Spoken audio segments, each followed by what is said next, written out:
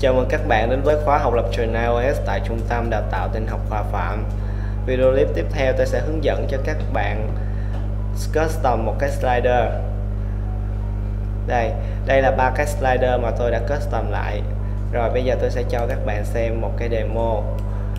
Cái slider thứ nhất tôi đã custom cái nút tròn thành một cái hình con chó.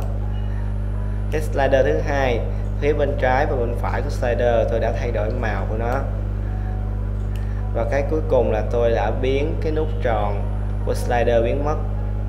Rồi, để làm được như thế này, đầu tiên các bạn mở Xcode lên. Các bạn tạo cho tôi một cái project mới. Next. đặt tên nó là demo custom slider. Next. create. Rồi, tại main storyboard, các bạn chỉnh kích thước màn hình lại.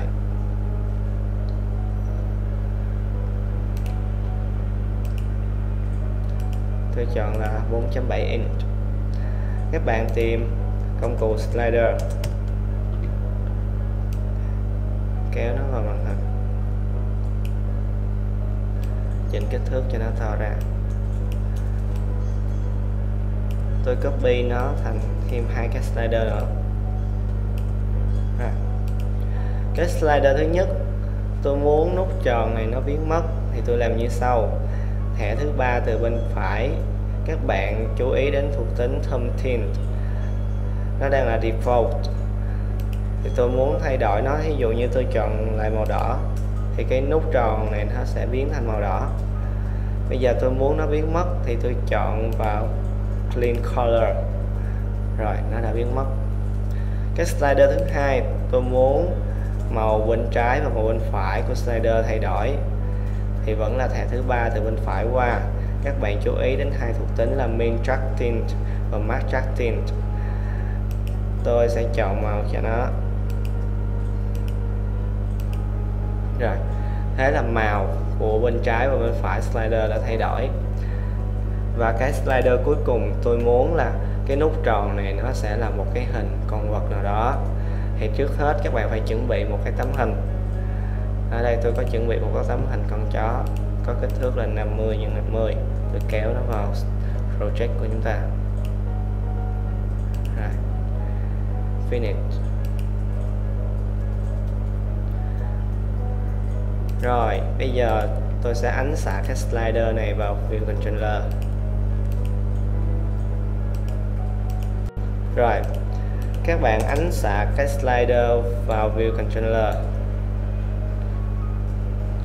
tôi đặt tên là sld my slider.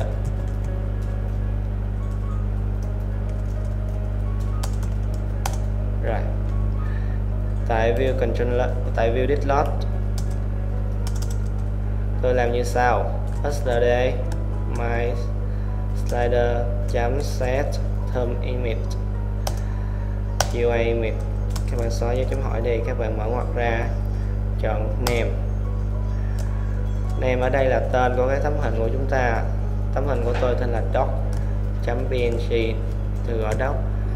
Không cần chấm png vì Xcode sẽ hiểu những tấm hình png rồi, for stay.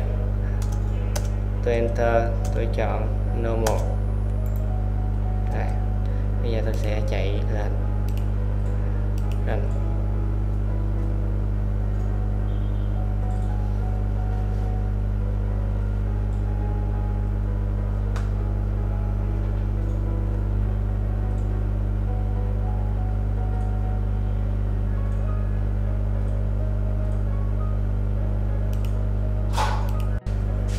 đây. Ba cái slider mà tôi đã custom nó hiện ra. Cái slider thứ nhất là nó không còn cái nút tròn nữa. Cái slider thứ hai là bên trái và bên phải nó đã thay đổi màu. Và cái slider cuối cùng tôi đã thay đổi nút tròn thành một cái tấm hình. Rồi, tôi đã hướng dẫn xong các bạn về cách custom lại một cái slider. Cảm ơn các bạn đã quan tâm theo dõi. Chào các bạn. Música